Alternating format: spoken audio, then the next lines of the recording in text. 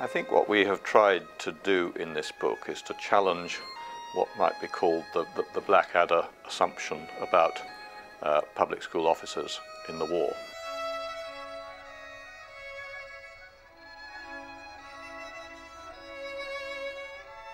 There is obviously, with the, with the centenary coming up, a huge number of books are going to be coming out uh, on, on the Great War, most of them works of, of, of, of military history.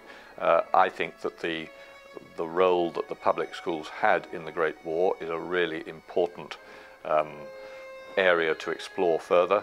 We hope that we have made a start on that, but uh, we believe that it might well act as a, as a sort of a lead-in to lots more studies on a similar sort of theme. We can make a, a, rough guess at the number of public schoolboys killed, which was something like 35,000, which I mean, in, in, in, terms of the total deaths of 900,000 is, is, is, is, is, is not that big, obviously.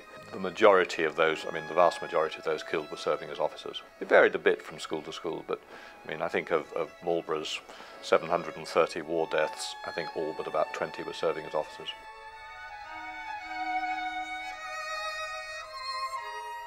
the story of the junior officers is, is, is the most tragic and, and, and poignant of all.